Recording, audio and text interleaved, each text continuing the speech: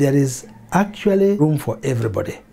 You'll always get people who want to see a gynecologist, you'll see another one who want to see a surgeon, and another one to see internal medicine, but there's still very many other Kenyans who have no choice, and this is where the family medicine people are needed.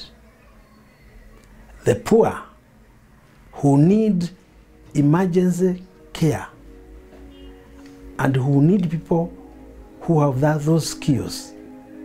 These are the people.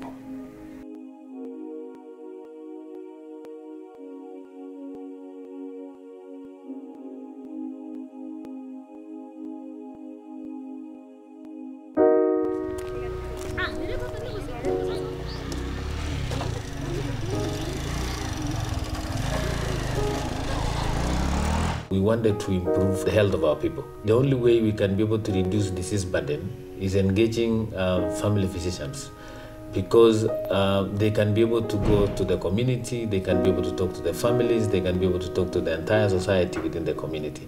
That way, we can be able to reach more people within a very short time.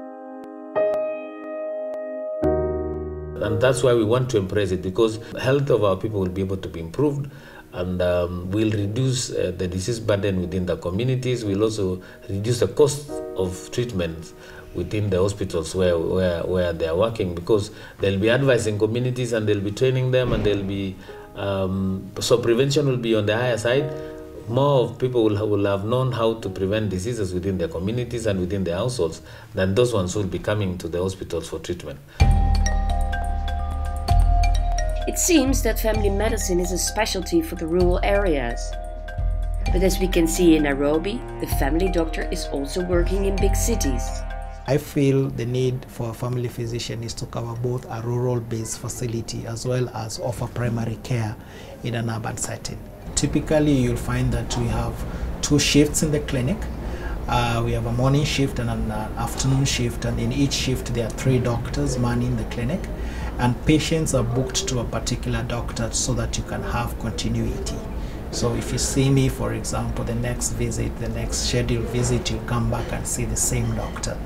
That affords continuity and opportunities for health promotion and uh, coordinated care. What I want us to do is to take a deep breath and hold that breath and then blow through this as hard and as fast as possible. So it's a deep breath in.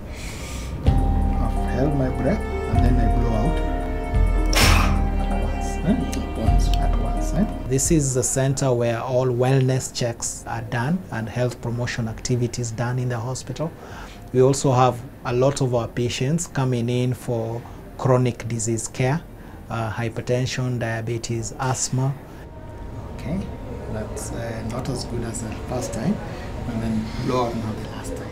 Before you'll find that somebody will come into the Aga Khan hospital and be seen by three or four specialists. But by doing this in a more coordinated, cost effective way, it saves them on money and they get appropriate uh, uh, referral. So already patients give us good feedback that the care is more coordinated and more cost effective. Dr. Dino is meeting Dr. Joy. She's almost done with her family medicine training. So she knows what you learn and what they teach to help you to become a good family doctor. Yes. I'm Dino. Nice You had a- meeting you. Nice meeting you. had agreed to meet me Yes. and tell me more about your training Uh, as a welcome. family physician. Thank you. Okay. Karibu. We are doing our ward rounds. Okay. So, please, a patient we have who has renal failure, Okay. and uh, on a daily basis, we do ward rounds.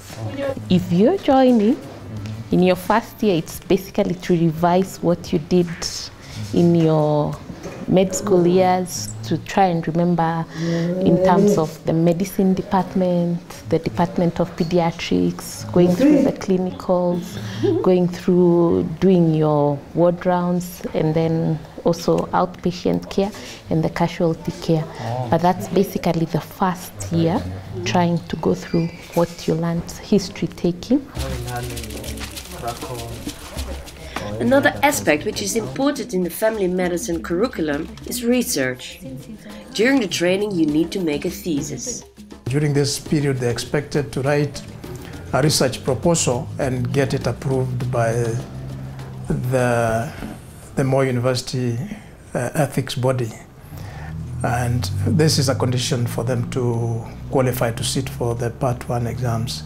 Uh, we do place uh, very heavy emphasis on uh, formative assessment evaluation. It forms 50% of the expectation of the grade for them to pass at the end of the first part of the training. I believe that we need research done by Africans for Africans. And this is because we have heavily relied on westernized data, which is not applicable to the African population. Our diseases may be related, but the way our bodies interact very different. So we need data for Africans by Africans. And I'm passionate about getting first authors who are African uh, family, fam family physicians and predominantly in primary care. Now, when we come into part two, we have the special courses, which one is the clinician. As a teacher, you're expected to be capable of Oh, okay. teaching, uh, not only the interns as we used to do as MOs, but now at a higher level, you're like a mini consultant in your part two session. Then there's the part where we do community oriented, uh, patient centered care. Where we go into the community, like now, this patient we have seen, he's an elderly patient who may be in need when on assessment needs further care. We need to know why he has gotten to this phase, who has caretakers back at home, and the community understands his condition so that he doesn't keep coming back. I forgot one thing. We also have palliative care. Like this patient is a patient who would need palliative care as a terminal care patient. Palliative care is not offered in other, in other courses, but one special thing with family medicine is palliative care is also offered, and that makes us at a different level. Habari ya leo, salimia. Uko aje leo eh? Hii maji unataka kupata chai? He had severe malaria. He's on quinine. He, Yes, he had a jaundice, but it's clearing because yesterday it was more deep. But today he's still complaining of abdominal pain. So I would like to examine it and see. Kidogo niweze kukupima na kufungua tu kidogo mpaka hapo, na leo naona uko smart. Pumua, pumua, pumua. Baba, kidogo ni kuongeleshe. It's good to have partnership with the family, so that is why I want to talk with the father, and that's part of family medicine. You have to involve the family. Baba ananiambia ameshindwa na kukula nyingi mara moja, patie kidogo kido kidogo kwa siku, kwa sababu tumbo sio vile. Are you joining family medicine? No, Have I convinced you enough? Not yet. Not yet. Ah. So we are seeing this lady. Munasalimiana aje na Kimara kwetu Chamuge? Ah. Missing. Habari ya leo? Ah, mzuri. Mm. Sawa, pole. Sitakuongelesha sana, acha nimwongeleshe msichana yako. Sawa. So part of family medicine is uh, communication, Communication. skills. Yeah, I see you mastered that. Was it the same as an MO or do you feel you have improved? I have really improved. I learnt a lot.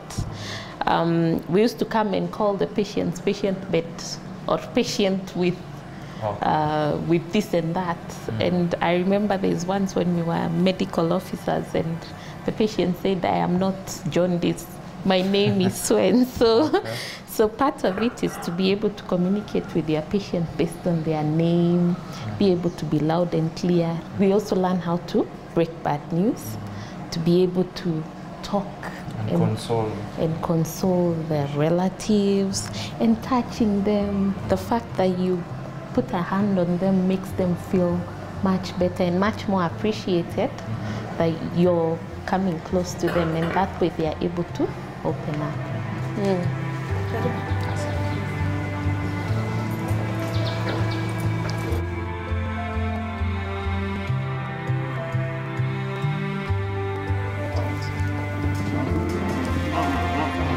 Akiwa hapa hebu hizo siku, lakini bado uko na vidonda kwa mdomo. Usiku umelala? Baby analala. Analala. Zaidi ama analala kawaida? Ni yellow imepungua kidogo, tuangalie chini, tuangalie chini. Mm, yellow imepungua. Ha, fanye smart, si ndio? Umchane nywele, umshuke nywele, si ndio? Leo nimefurahi hata wewe umesmile leo. Yesterday she looked depressed Mm because uh, the sister was not eating and she felt probably the sister is just being difficult. But we talked with her and today at least the sis is getting up. But that you see a lot of that in palliative cases. Yes. Mm. A lot of giving up from the relatives. So So your palliative, let's say, rotation, how does it prepare you in terms of dealing with palliative cases? at least it helps you learn how to break bad news. Um, pain management, which pain management, you know how difficult it is within our healthcare setups. You write morphine, no one wants to give morphine. But having learned palliative, we've learned that morphine is not as bad as what we learned in undergraduate. But now at least that is manageable. And you involve the hospice. Yes, and you involve the whole team social worker, the hospice, plus the client, plus the family. Mm. I hope you'll join family medicine. We'll see. Thank you. Uh, in conclusion, what I've come to find out is that family medicine is a very special specialty in that it caters for a lot of people, from the young to the old. That is very appealing to me. And just because of that, I could actually seriously consider family medicine as a specialty I would want to do in the future. As a county of Elgeyo Marakwet, we still require more uh, family physicians because one is that a family physician is also an educator, educates the communities. So we will um, we will want to impress the program. We will want to have more doctors. We have already uh, talked to the team that they are doing internship. That anybody who is interested in uh, family medicine, we can see how the county government Elgeyo Marakwet can be able to support a few that are willing to go for uh, family medicine and come back to the county and work and support the people. Kenya needs family physician because they are ideal for the population.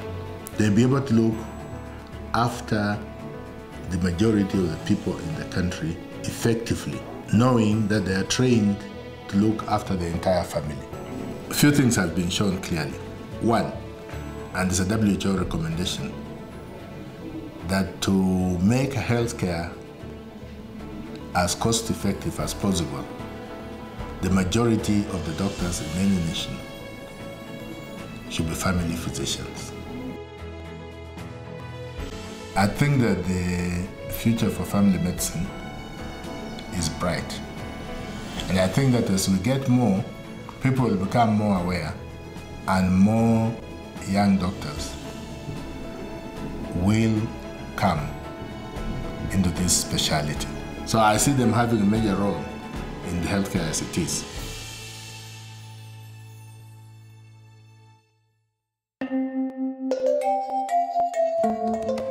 Moment, there are five universities that offer a family medicine training. Moi University in Eldoret, Maseno University near Kisumu, Kabarak University near Nakuru, Kenyatta University in Nairobi, and the Aga Khan University in Nairobi.